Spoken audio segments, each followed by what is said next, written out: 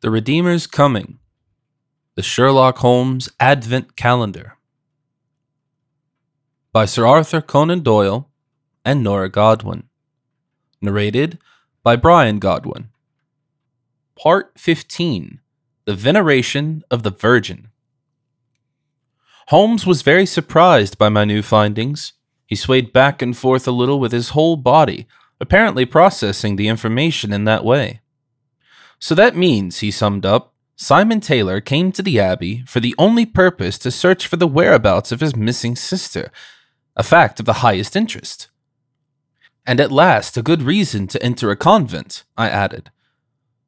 He was here for an investigation, Holmes continued. He used his new identity as Brother Emmanuel to gain the trust of the friars and access to all areas of the building. He could then move like a fish in the water. But of course, he did not find Maria. Brother Francis would have recognized the portrait if Simon's sister had been there in course of pastoral care or other charitable activities, but he had already denied it when we showed it to him. It is quite strange, I said, that coincidentally two young women disappear in this environment within a short time. First Maria Taylor, and soon after that the kitchen help of the Abbey. Holmes shook his head. There are no coincidences, he said firmly, and still I don't see the connection between the two girls, or at least not yet. And there's another question that comes up, I added. If Brother Emmanuel couldn't find his sister here, in contrast to what the knife grinder said, why did he stay anyway? And what did he find instead that led to his assassination? It's all very confusing. A fact, Holmes said, but there has to be a connection. Just because Maria Taylor was not here when her brother arrived does not mean that none of the monks could still know anything about her whereabouts or have any connection to her future fate. I think we should keep our new insights for the time being to ourselves. No word about it. No one. Not even Lestrade either? I asked. Not even Lestrade, Holmes replied sternly. He would be the first to reveal his knowledge in the wrong place and at the wrong time, thereby warning the perpetrator. We finally have a certain advantage, and we shall play our hand close to our chest. Well, I asked, demanding, was there something else you wanted to tell me? Holmes gave me a confused look and said, What would that be? How about, for example, a few good words for my performance? I suggested. After all, I have successfully carried on with our investigation even though I had to face difficult and dangerous conditions. Oh, Watson, Holmes replied. Are you really that insecure? I was stunned. Holmes! I shouted indignantly.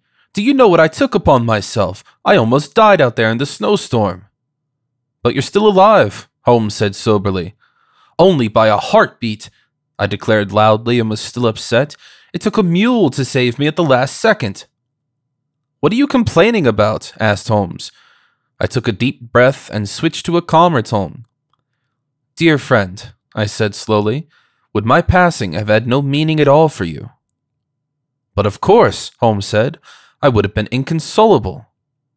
Thank you, I replied, sadly satisfied. But Holmes continued, Who else would have given me the new insights?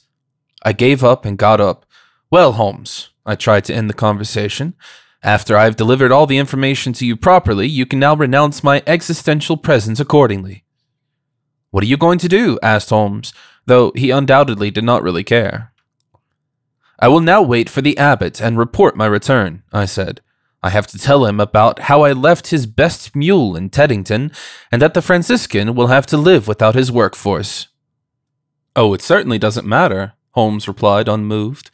They now have Lestrade instead, certainly a worthy replacement. A fair exchange, I thought, as well, but I refused to say it out loud. I nodded to Holmes as a temporary goodbye and made my way to Brother Francis's office.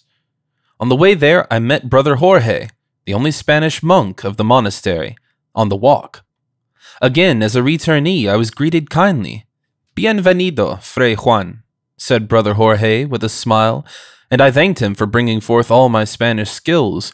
However, I began to wonder whether the monks had unspokenly expected me to die on the way to Teddington and not return. When I entered the ministry, I found both the abbot and the vicar there. Dr. Watson, Brother Francis immediately exclaimed, I've already been told of your arrival. I am pleased that you're back safely. We've missed We hope you enjoyed this preview. To continue listening to this audiobook on Google Play Books, use the link in the video description.